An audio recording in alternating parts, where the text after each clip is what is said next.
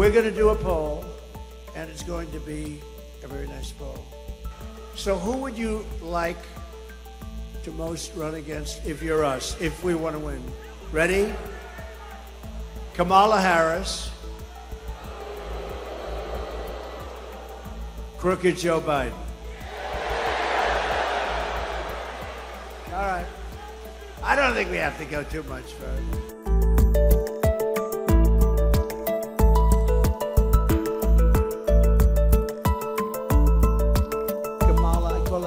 Her Kamala.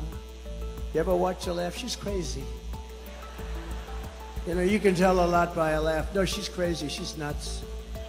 She's not as crazy as Nancy Pelosi. Crazy Nancy.